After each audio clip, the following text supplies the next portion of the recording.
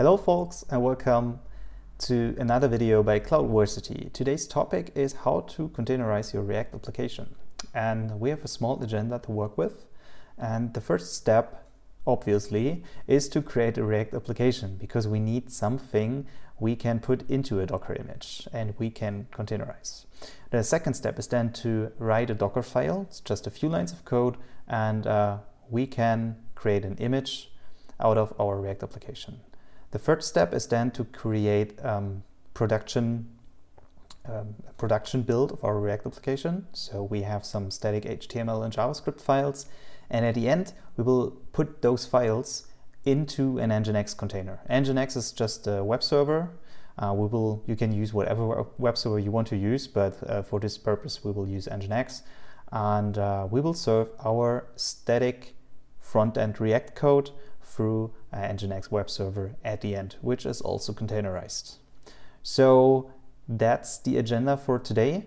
You can just lean back and enjoy, or you can follow along, but make sure that you have a cup of coffee ready or a cup of tea, depends a little bit on the hour you are watching this video. And I would say, let's roll the intro.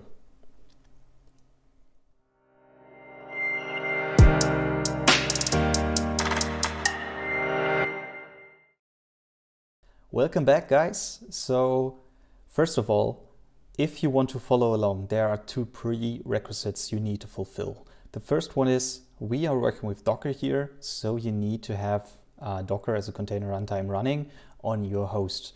To do, uh, if you want to do this, just Google Docker install. You will end up, in, for example, like this page here, and then you can install Docker for your operating system you're working with. The same goes to Node.js. So you need to have Node.js installed. Just Google Node.js download and you will end up at this page. Pick the late, latest uh, version or the, the LTS version, which stands for long-term long-term service uh, version. Pick the OS you're running and uh, you're good to go. So next thing we will do is we will just fire up a command line and I have my project directories Cloudversity here and we will create a React app because we need that to Dockerize it, right? So we will execute the following command, which is just npx create React app. And then you need to give it a special name. And my special name is awesome app. Yeah. And then just hit enter. This will maybe take a while, uh, maybe one, two minutes. So it will just create a really basic React app, some kind of boilerplate if you want to call it like this. And I will pause the video right here and we will see each other in a few seconds. Welcome back folks. So uh, it says happy hacking. Let's do so. So the React app is has been created successfully. So we will just jump into the directory it just created and I will open the directory with my uh, code edit editor, which is uh, Visual Studio Code. So I can just type in code dot and it will open the current directory in uh, Visual Studio Code. So as you can see, it created the project structure, it created all the, or downloaded all the modules which are needed to run the application. And this is just a basic structure for React projects. The cool thing is we can just execute now npm start and it will actually run our application. So here we go. It spawns a new tab on localhost 3000 and as you can see it says this uh, is a development build so it's not optimized yet. And we can actually just change, for example, this one here, this, this title or this span. We go to, I think it's app.js. Yeah, exactly. We can go in here and just uh, make it look like our own app. So we will write in there something like my awesome React app, right? Does make sense. So we can save it. If we save it, it's hot reloading. So as you can see, uh, it changed the text here directly. So that's all fine, but that's not the topic of today. The topic of today is how to containerize our applications. We will just shut down the server here with Control and C, and we will go back into Visual Studio Code. What we need to do is we need to create a Docker file. Docker file. And the first line in a Docker file is always a from command and you need to specify an image, um, which it inherits or which it downloads and then you can put stuff into the image. So there are a lot of images um, available at the Docker Hub and we will use one of the images which is called Node and there are different flavors of the Node image and you can install um, LTS Alpine 1. So that's a pretty small one and uh, it, it just has Node installed. So we don't need to install Node in this kind of image by our own. It's just already there and it's working. So that's great. We have uh, our base image specified. And the next thing we want to do is we want to copy the package JSON uh, to dot. So what is dot and where is dot? So dot is the directory within the container, within the image we are creating here. And so we specify a working directory and call it slash app. And every time we will execute or exec into the container, uh, we will end up at this specific path at slash app. And we are copying the package JSON, which is this file here, into the directory.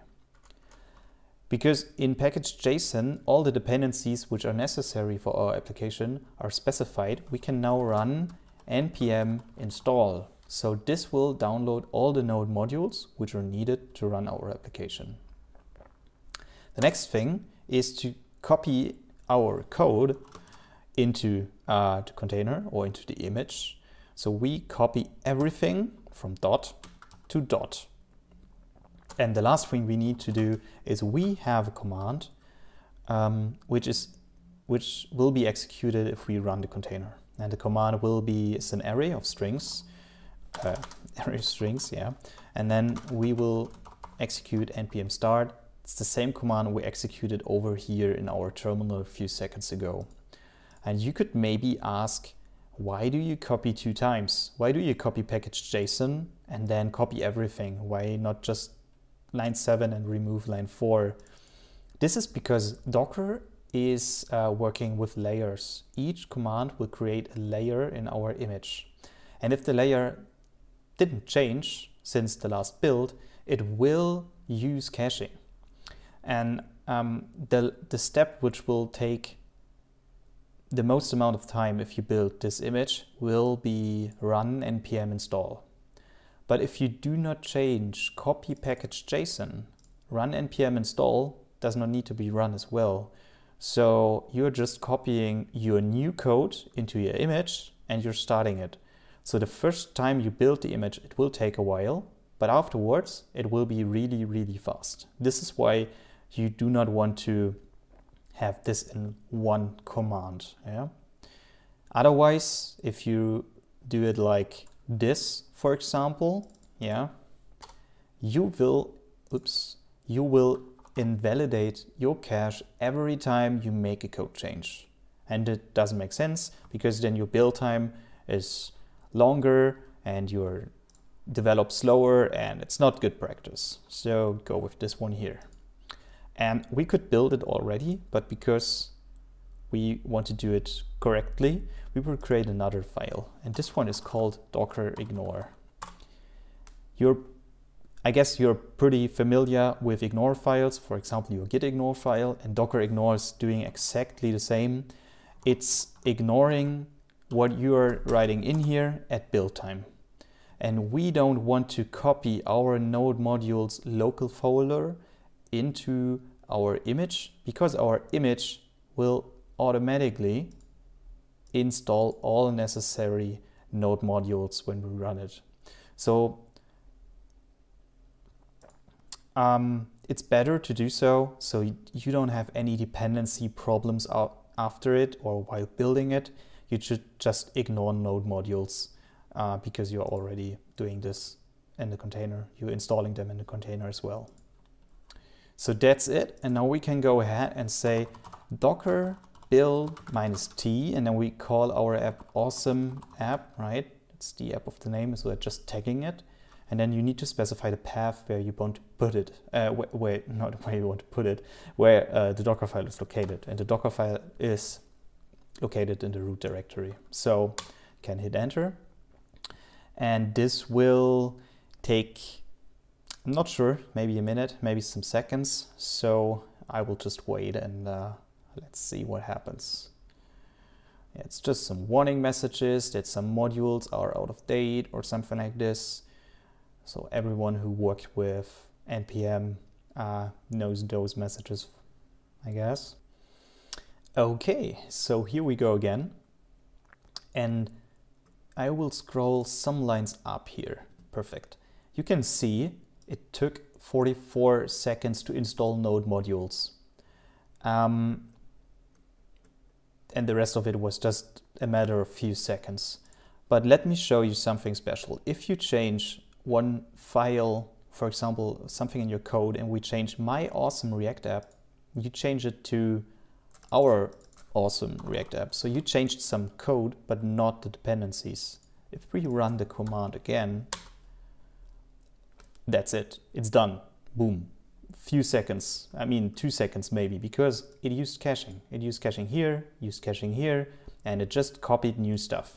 And to copying a one kilobyte file is uh, does not take that much time. So as you can see, that's good practice to specify two copy commands here. So now we have our image. We can look at it, Docker images. It pulled the LTS Alpine image, of course. I did this already three weeks ago, so it's already here. But our app has been created 27 seconds ago, and we can run our app. So we can say docker run. We need to specify a port. So I will go for 8080 and I need to point it to 3000 inside the container. And then we need to specify the container we want to run. So it's awesome app. And that should be it. And starting development server and it's running. We can check this. We can go to our browser. On localhost 3000, there's nothing running anymore. If I refresh the page, there's nothing will happen. Uh, but on port 8080, we should see our app. And now we serve the app in our Docker container. So that's great.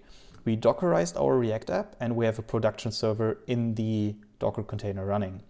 But we wanted to serve it uh, in a real world example, so in a real web server. So let's go ahead to the next step. The first thing I will do is I will close this one here and just control C not, so that we are not in the container anymore. And the next thing we will do, we will create a new Docker file. And the next one will have a name, something like Docker file production. And I will just copy paste the code from Docker file to Docker file production. But we need to change a few things here. Need to change a few things. Um, what we need to change is this one here at the beginning is a builder. We will call it builder. I will go into, into details. Um, I'm sorry. We'll call it builder and uh, I will go into details in a few seconds. So we don't need this and yeah, perfect. Now we could say from Nginx Alpine copy and from oops builder no from builder. So what we are doing here is we use actually a multi-staged docker file which is great. We will see in a second. So we do execute the full the, the same steps as before. We install the package JSON and we run an npm install, we copy our code, but we need a second command, which is npm build. It's also stated here. If you want to have an optimized production build, you need to run npm run build, not npm build. And if we do this, it will create static content, static JavaScript and HTML files in a directory which is slash build. And we want to serve these files in our web server. So we can run this.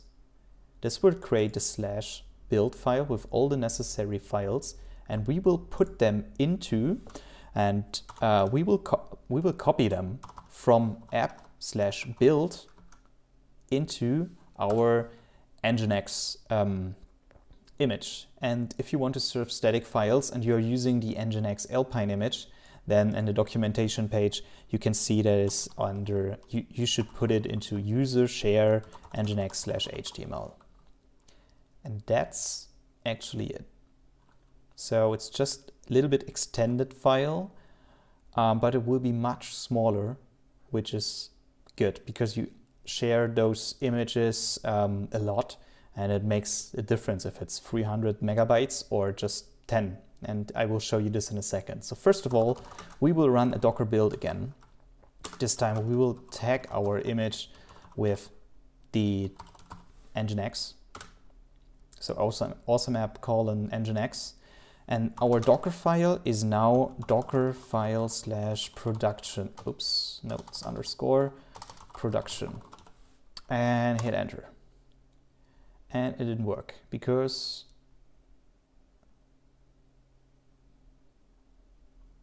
um, whoop, just forgot the dot at the end. And as you can see, it used caching again because it already has the, it already ran through this once. And it just needed to download the Nginx Alpine image, which has been done here. And then, yeah, that's pretty much it. It just copied the step we said or we defined. It copied our static content into our new image. And now if we go to Docker images, you will see that we had an awesome app image. So the development server with the node image, this one was 350 megabytes big. And our Nginx container now is just 23 megabytes. So it's really, really small. And we can serve this container as well. Just hit enter or just execute docker run. We will use another port for this one. So port 8081 um, pointing to free, no, pointing to 80 because Nginx will serve the static content on port 80. And then we will need to say awesome app and don't forget the uh, tag at the end and hit enter. So this is ready for startup. Okay, cool. So we have still our localhost 8080 this is the container from before. And now we have localhost 8081. And this, as you can see, is now from the Nginx. So this is serving from a real web server. And the difference now is, first, the first difference was the image size, and it was a huge difference. So it's one tenth, I guess, of the original image size. But if we fire up the console, in our Chrome browser, for example, you can use whatever browser you, you like. Um, oops, we need to go to the network tab and I will just refresh the page here. And you can see that if we look at the size of our contents real uh, loading when we load the page, the biggest content or the biggest file is our zero chunk JavaScript file, and this is one is 409 kilobytes big. If we go to our Nginx production build, we can do exactly the same, refresh the page, and the biggest file now is 132. So our image is smaller and the loading time of our application, so the performance will be much better because now we are serving actually production ready static files in a real web server. So that's it. I guess we covered all the points uh, we wanted to cover for this video. It would be really nice if you enjoyed content to give it a like, to subscribe to the channel because there will be a lot more videos in the upcoming future. And uh, yeah, see you soon. Thanks for watching. Bye.